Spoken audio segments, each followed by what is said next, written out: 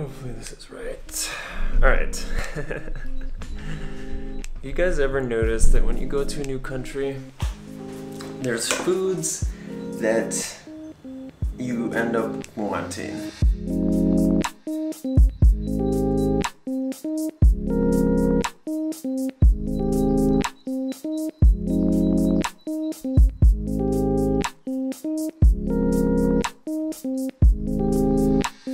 Example, I feel like when we go to the States, Koheun's always asking like to get some East Asian kind of food after we've been living with my parents for a while because my parents obviously eat more like Midwestern food, like potatoes and mashed potatoes and stuff like that.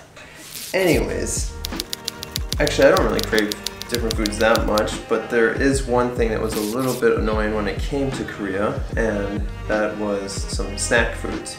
So here you can go to a normal store or a, a, a corner store and like a GS25 and find American snacks. You can find, which is pretty cool. You can find Doritos and Cheetos, Pringles, but the flavors they sell here in the normal store aren't American flavors. They're Korean flavors, like uh, sweet flavors. And when I first got here, actually I really like those kind of snacks, so I, I eat them a lot.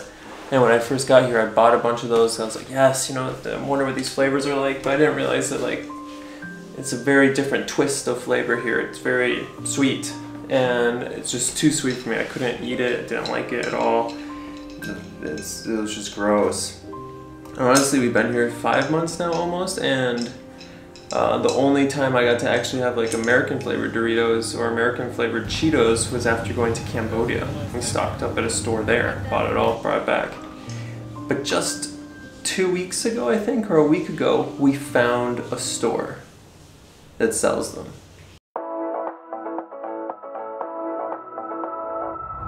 Um, if you want Cheetos, you need to go to Shinseok, exit 8, I think.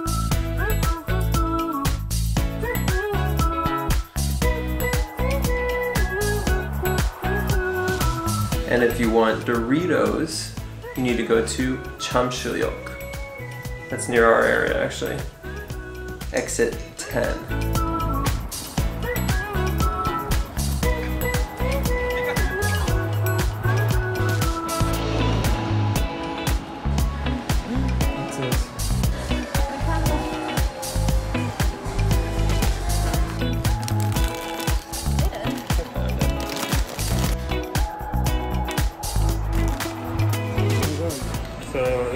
They were 3,500 which is not bad. 3,500 It's like for that's like Higher, American.